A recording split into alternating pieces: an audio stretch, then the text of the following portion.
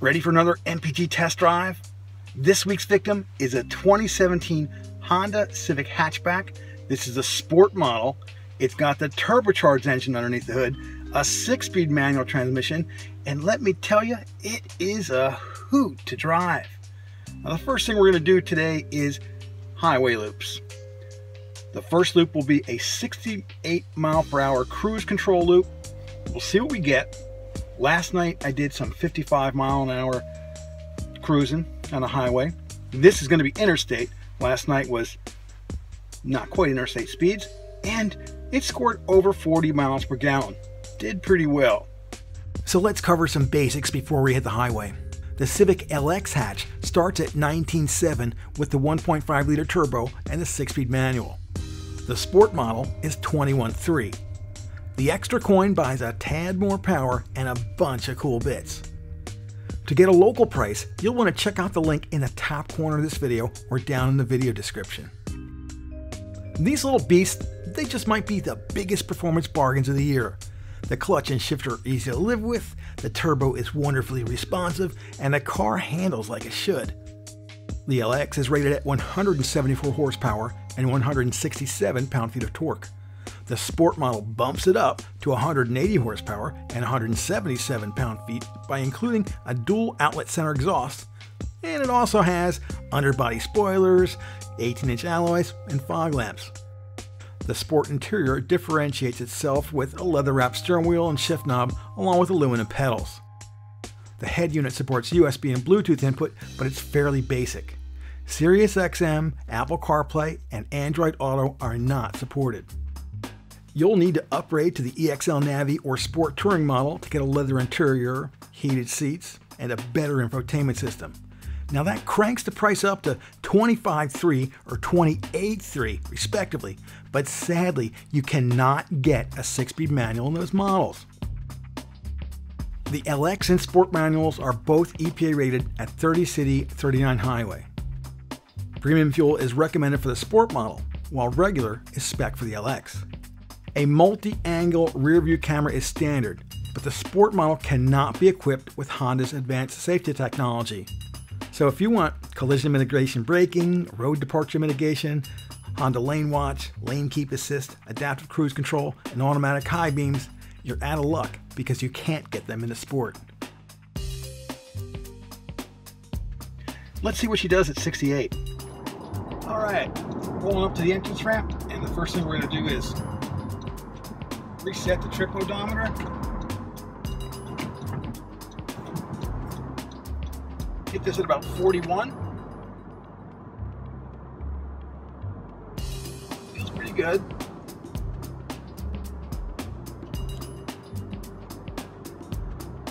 Bad. And we're going to roll on some throttle real easily as we go up this ramp. Right now we're at 50 miles an hour. And I'm going to go nice and easy up the hill. The dashboard makes it easy for you because you've got those really cool green and white lines that show you whether you're operating efficiently or not. And we're cresting the top of the ramp. Got no traffic.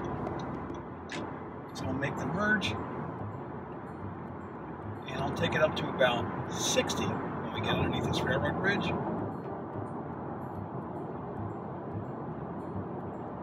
And I'll continue to ease up this next hill. It's part of the secret to getting decent mileage. Don't go all in up the hills. Once we crest this, right here, now I'm into sixth gear, and I'll take it up to 68 and we'll set the cruise control. You want to try to accelerate on your way downhill when you can, not uphill. I'm going to punch in the cruise. And right we're going to set for 64. Got some traffic coming up behind us. And again, we're going downhill a little bit. So I'll punch it up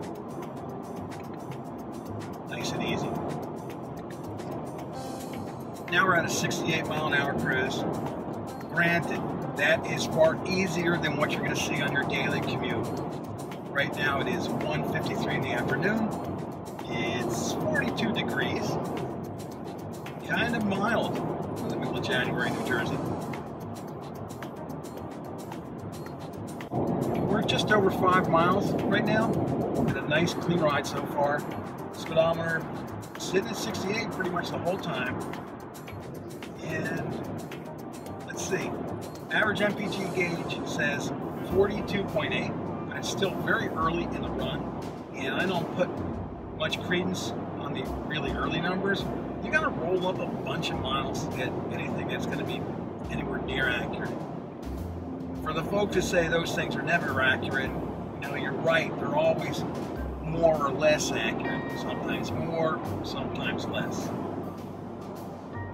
Longer you drive, the more accurate it's going to get. Short runs get skewed.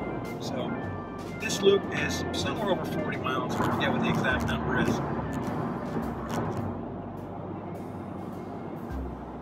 And we're going to miss the afternoon commute if I do this right. The opening commuting traffic. You can hear she's a bit loud over those bridges,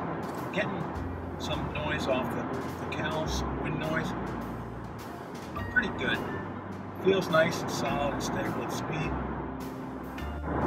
Just over 10 miles in right now, and these undulations are eating away at our MPGs a little bit. Right now we're sitting at 41.6, and at 68 miles per hour, we're turning about 2,600 RPM. Now because we're in cruise control mode, I can't take advantage of the hills. The hills are beating us. So we'll take this first run in cruise, then we'll come back and take a second run without cruise and see how we do. Right now I'm pretty happy with what I'm seeing. Right around 42 and um, that's okay. It's a bit over spec, a wee bit. Now we don't know what kind of fuel is in a tank. I would hope that it's premium. With a turbocharged engine like this one that's designed to run on premium fuel, you are going to get better performance with the right fuel. So with premium in the tank, you're going to get better mileage, you're going to get more horsepower. While this engine can run on regular, you don't really want to run it unless you want to take a hit on MPGs and a hit on performance. You buy this car, you buy this engine because it performs well, and then to feed it cheap fuel, what's the point in that? So you want to put the right fuel in the tank. And for this vehicle, it's premium. Now it is spec for up to E15, I'd love to test this on E15 because E15 costs a little bit less than regular it gives you a bit more horsepower, a bit more octane actually than, um, regular does. Could be a little bit more horsepower. So, unfortunately, it's not spec for anything higher than E15. If I had my druthers, I tested on E30, which is the performance fuel. Lower priced than regular, a lot higher octane, along the lines of a 93 octane conventional. Getting over here, coming to the uh, corkscrew, as I call it, where we get off of 295 and get on to 195. And it's a bit scary. And here's where I use a little bit of technique. I'll take it out of cruise right here, and I'll start coasting. When you do that, the engine gets into a super efficient mode. You really don't want to carry too much speed into this because at the top of the corkscrew, you want to be at about 40 miles per hour. So right now, I'm at 50, so downshift the fifth. Got a nasty merge over here, we'll let these cars go by. I'm at 45, downshift the fourth foot off the throttle as much as possible.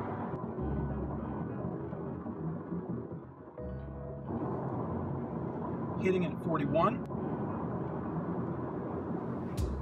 Foot super light.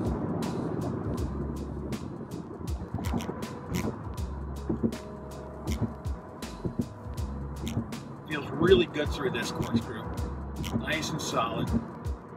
With the expansion joints just fine. Here I am, catching up to the traffic in front of me. Downshift to third.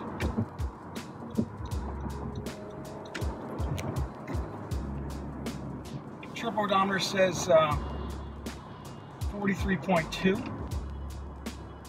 at this point. It's going to go down. And another tricky merge here. This is 55 here. A lot of police presence usually.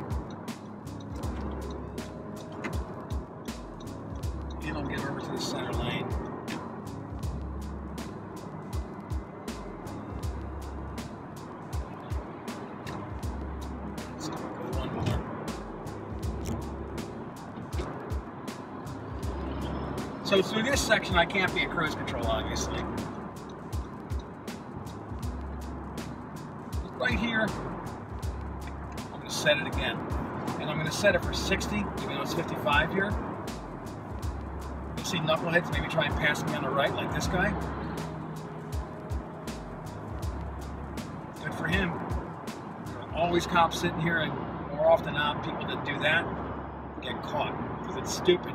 The right lane ends up here. The merge is a little tough. Now, as soon as we get back down to two lanes, it goes to 65. And I was in fifth there, so I'm going to go to sixth.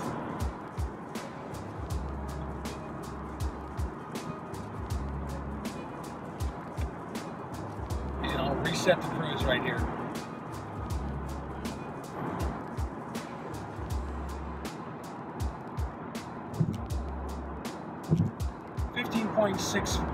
Miles into this and showing 42.2 mpg.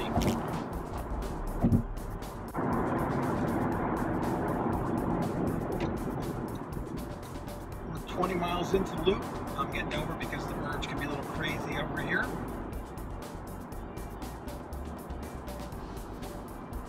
Average MPG meter says 42.1.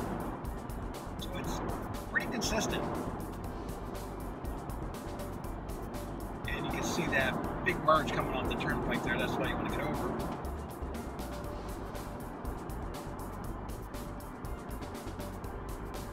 We're actually doing our turnaround up here, just over that hill. And again, once I get to the top of this hill, I'm going to use my little trick. Right here, take it out of cruise and coast. Because I know I'm getting off of that exit. So if you can anticipate, you're going to save fuel.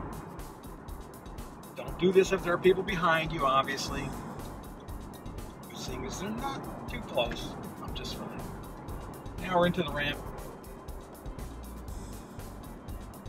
And we saved a wee bit of fuel there.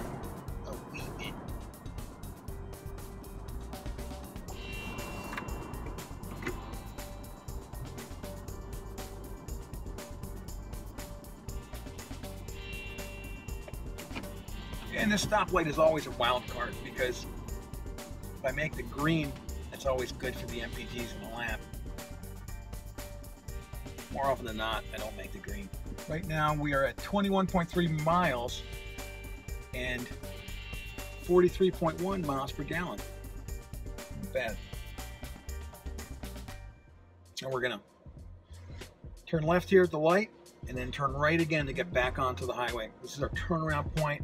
So we've got the entrance ramp, we've got this exit ramp, we've got a stoplight, we've got another entrance ramp, we're back up to speed, and then there's a ramp between. Let's see how we do on the way back.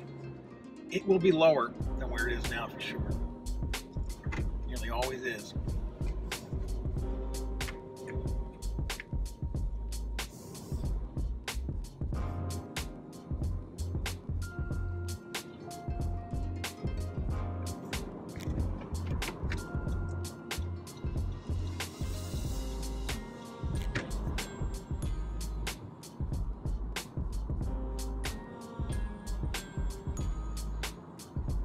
Loves these ramps.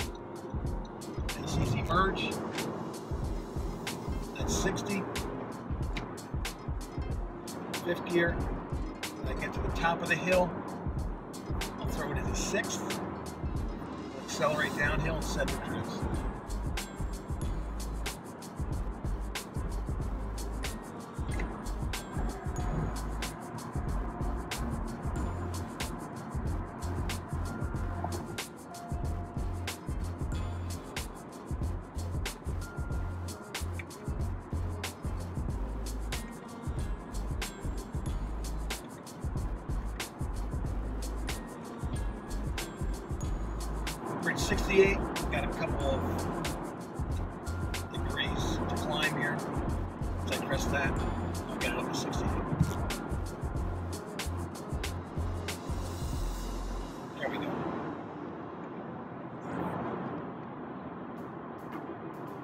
And we are at 23 miles.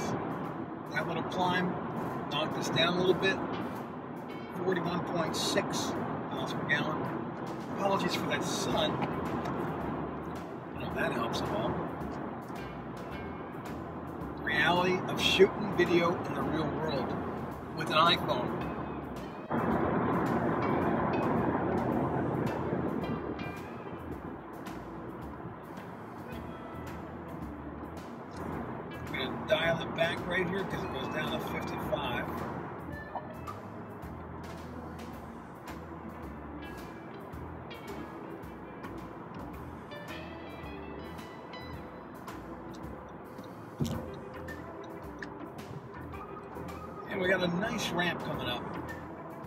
This ramp. You can usually hit this one at uh, a pretty good clip. We are at 28.3 miles into the loop. Average is 42.4.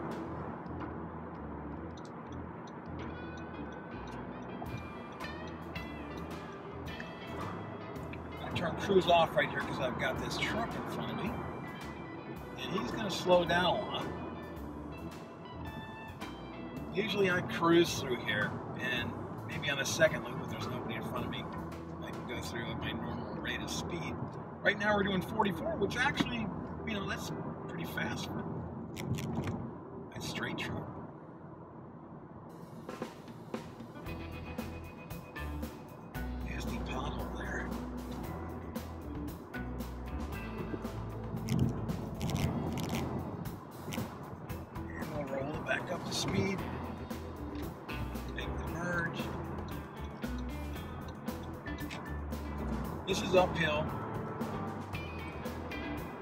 Just down there at um, Delaware River level. So a lot of this undulation is due to geographic forces from ancient history.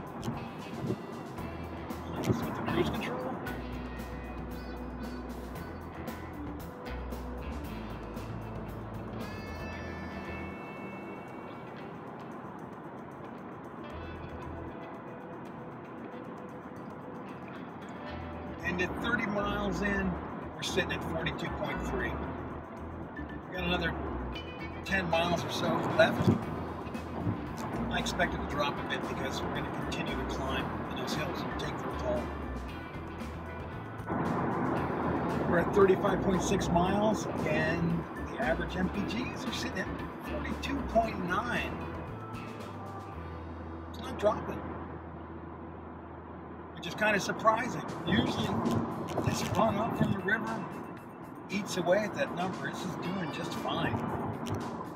Just past the 40 mile mark, and we're at 42.4. Not bad.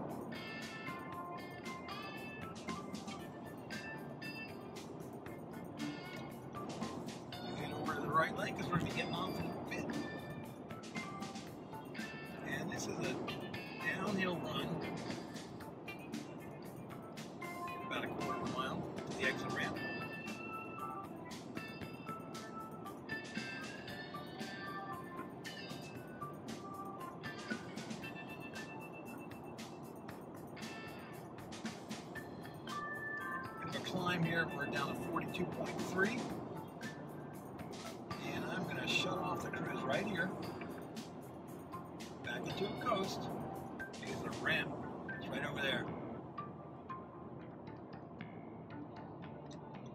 And you don't need to hit the ramp at 68 miles an hour if there's nobody behind you. So we'll pick up a little bit here. Ease back onto the pedal.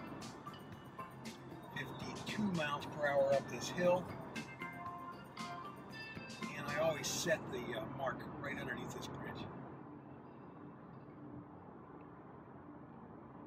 So this did pretty well on cruise control.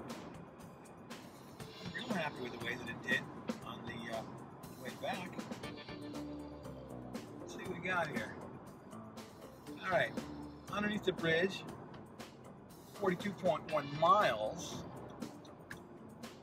42.7 miles per gallon.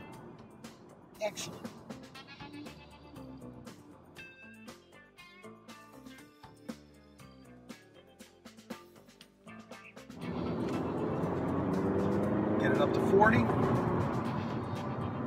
Reset.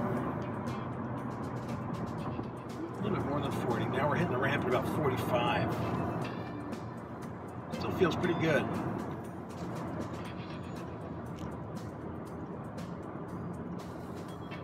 Forty right there. Real nice.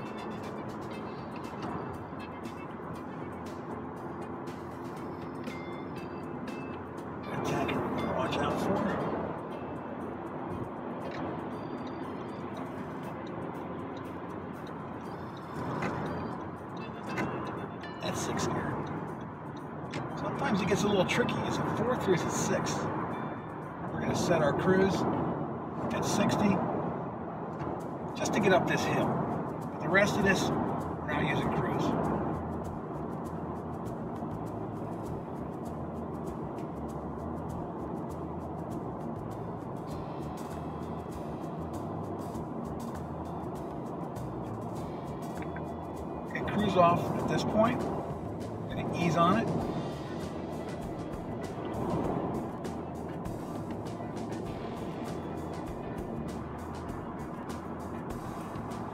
Trying to keep it in the green zone. So in this second run, I like to say we aim for between 60 and 68. So the overall average speed is going to be a little less than what you would do cruise control run. I say 60 to 68? 60 to 72. Because we go above. That's right, kids. On the downhill runs, we pick up a little bit of extra speed. Like right now, I'm doing 73. Whoops, 74. And we let off. A little bit of that pulse and glide thing going on. Get a little bit of extra speed, let it carry you through. Sometimes that can work in your favor. If you watch the way that tractor trailers drive on the highway as they're going up and down hills, the guys that are long distance drivers that are worried about how much money they spend on fuel, they pick up speed going downhill and they lose it going uphill for a number of reasons. One of them is efficiency. At the end of the run, it's real money.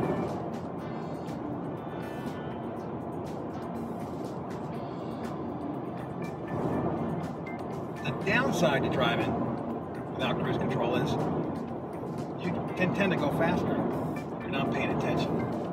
So keep an eye on the speedometer, obviously. Keep an eye on that thermometer MPG gauge. And it makes it really easy with the green and white lights, bars. Keep it in the green as much as possible. You'll do well. Right now, we're almost four miles in, and I'm at uh, 43.8. Who knows what we'll get out of this? Find out. 11 miles into this second loop, going slower, not in cruise control. I settled into the right lane. Our folks are doing about 58 right now. I was doing a whole lot faster early on, but got to get off up here in a little way. So let's just see what we can get out of this. People are slowing down a bit much. I might have to get back over to the center lane and pass them. I'm two miles from the corkscrew, and the average MPG meter says 46.8 miles per gallon. When you slow it down, take your foot out of it, drive really light, your efficiency goes way, way, way up. Simply the way it is. Those folks got off. Doing about 63 now, which is okay. It's it's how fast people are going. I'm not holding up traffic. Driving with the flow, I just happen to be in the right lane.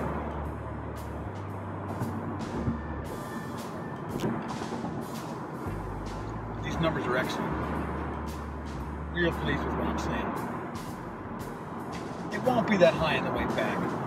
I'll tell you this, when you drive without cruise control and you've got the uphill stuff to go, it's easy to just get in too far and uh, use up more gas. When the machine's driving, it takes the human out of the equation. Sometimes you can beat the machine, sometimes the machine beats you.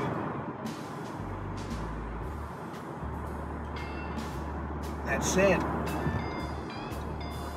right now. We're in that coast. Got a pickup truck behind us. He's gonna crawl up our bumper until we hit the loop.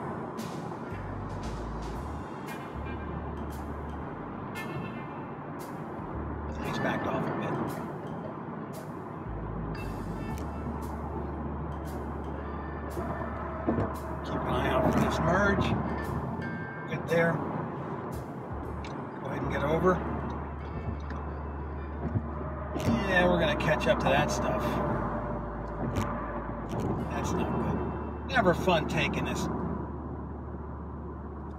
in the back of a bunch of slow pokes. But right now the MPG meter says 48.3. It's pretty awesome. It'll go up a little bit higher, maybe. 48.5. Once we start climbing though, it's gonna go down. Remember when I was telling you about the heavy police presence in this area? That's it right there. Sitting at 47.3 right now. Not too shabby. 20 miles into this second loop. This is the loop without cruise control. And we're at 46.5 miles per gallon.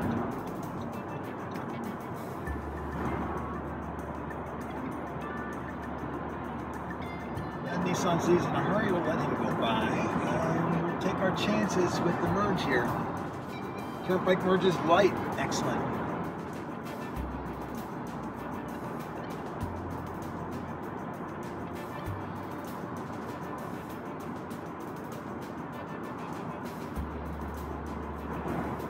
Now, one thing I've noticed with this Civic is that it's a lot louder than the cars that I've been driving lately. I just got out of the uh, Lincoln MKC and I had a Buick LaCrosse not too long ago. These are much heavier, much more extensively insulated vehicles. So if a quiet car is your thing, and you like the Civic, maybe you want to look at adding a little bit of insulation to it to quiet it down. I like the way the engine sounds. It's got a nice exhaust note. We're getting a lot of road noise. Now that could be because of the specific tires or could just be because there's a lot less insulation underneath the carpet and inside the wheel wells. That would be a really interesting experiment to do. You know, go to a someone like Dynamat and say, hey, let's take this brand new car and make it quieter. How many decibels can we take out of it? There are other companies too that uh, have insulation products that you may not be as familiar with because you don't see them in retail. 3M, for example, has some really cool insulation pieces. So maybe you could fit stuff inside the wheel wells. The problem with insulation is you gain weight. You gain a lot of weight with insulation. More weight, less fuel economy, less performance. Just, you know, one of those trade-offs. Oh, right now, 46.8. Talking about fuel economy. That's excellent. Excellent.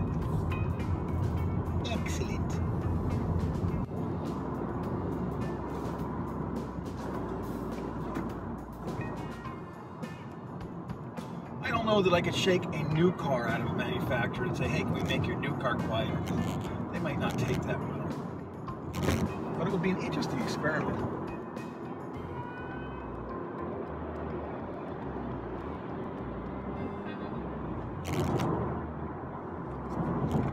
Gonna lose a little bit here, of course. 46.1 up the hill. That's six gear. This had a gear indicator. There's stuff that, you know, I'd like to add that you could add with um, some digital gauges. Like, it's a turbocharged engine. It would be awesome to have a boost gauge. There might be one in there someplace, but I haven't found it yet.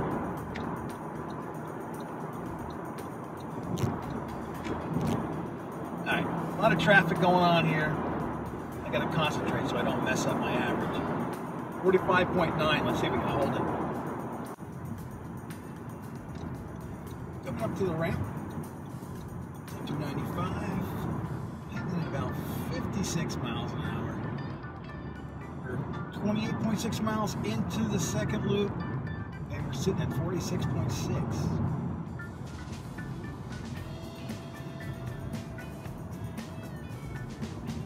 You can usually carry a good bit of speed through here, unless there's people front of me. Bad pothole right there. I hit that on a motorcycle.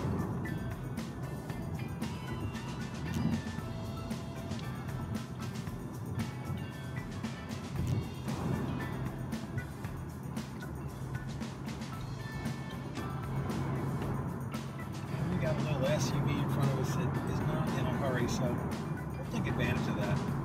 We won't be in a hurry either.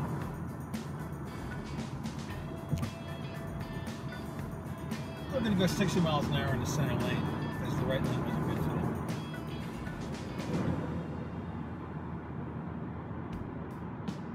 They wanted to get over because of the merge.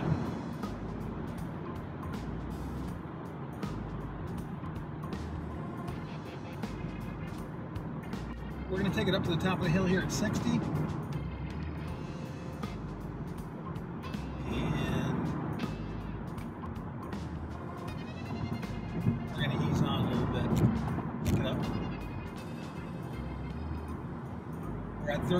46.5 miles per gallon. 35 miles in, 46.6 mpg. This one's the real deal. Here we go, getting off of the end of the second loop. Numbers look excellent. Now they have fallen a little bit from much always do. But the Civic held true to just about every vehicle I've tested over the years, hundreds of vehicles. I lose a bit on the way up. And I usually do better without cruise control. And in this case, it's absolutely true. This loop without cruise control, 45.9 miles per gallon. Pretty darn good. Think that's all we're doing for today. We'll do some 0 to 60s later.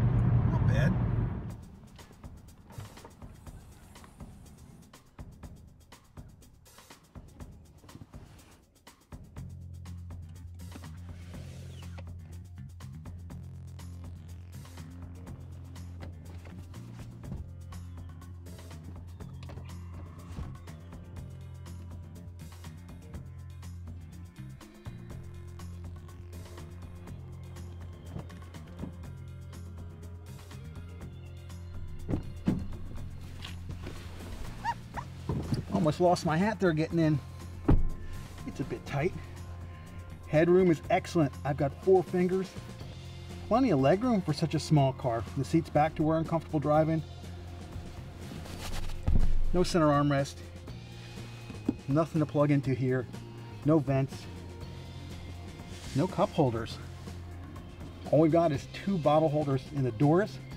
So if you're planning to drive around a bunch of drinkers, their options will be limited. Overall though, this is very comfortable back here. Nice lean to the seats. Good packaging. Overall, the Turbo Civic hatchback is an excellent value in either LX or Sport trim. Opting for these models rather than for the SI or Type R allows you to spend more of your hard earned cash on customization. You can easily add goodies like seat heaters, leather upholstery, upgraded audio systems, and aftermarket wheels to make your Civic hatchback truly unique. Thanks as always for watching. We'll catch you down the road.